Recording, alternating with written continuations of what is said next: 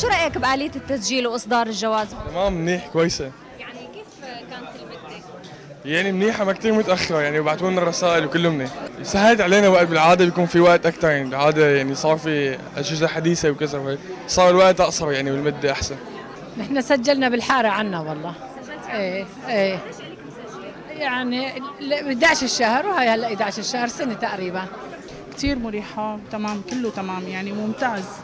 طيب كيف سجلتي عليها للجواز هي على المنصة مواعيد كانت ورا بعض. أول موعد كان على الشهر آه، م- 11 بعدين آه، أخروه على الأول ورجعنا على 11 كمان بالمنصة أنا وزوجتي بالبلد وبلغونا بشهر 11 جتنا رسالة من كام يوم عشان نطلع استلمنا هي كنا متأمنين للشهر الثاني. قامت قدمت لشهر 11 ما بعرف والله أنا سجلت عن طريق المنصة يعني واجتني رسالة بس طولت والله لأنه جواز سفر عادي.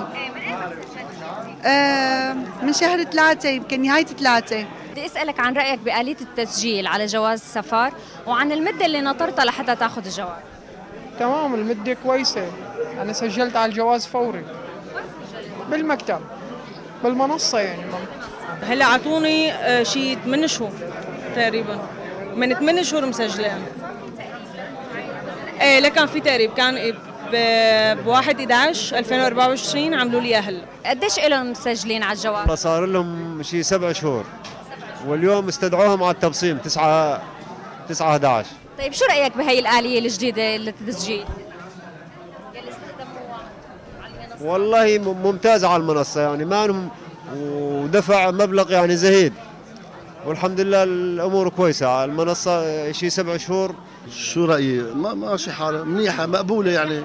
في زحمة بس مقبولة يعني. المدة كانت طويلة كتير. نحن مقدمين من من الشتاء تقريبا وطول كتير لحتى إجا وكانوا كل فترة يبعثوا لنا رسالة إنه في تأجيل.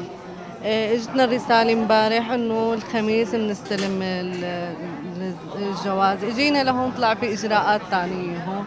فهلا ناطرين عم نقدم على الأوراق كلها مشان ناخذ الجواز وهيك. كثير الموضوع كان كثير مريح وتسرع يعني حتى كل العالم لجأت لهذا الشيء. مشكور عن جد. طيب أنت سجلتي امبارح هلا على الجواز؟ بالليل سجلت فوري واليوم جيت لحتى ثبت الحجز. سهلت علينا النطرة. وال- والجهد والتعب.